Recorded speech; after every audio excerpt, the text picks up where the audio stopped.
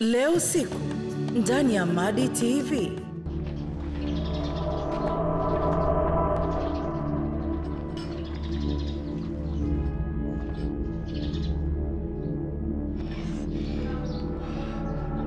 Nimeongea naye, ameniambia utakapa hapa kwa muda wa siku mbili tu, ukiweka mambo yako sawa, si ndivyo?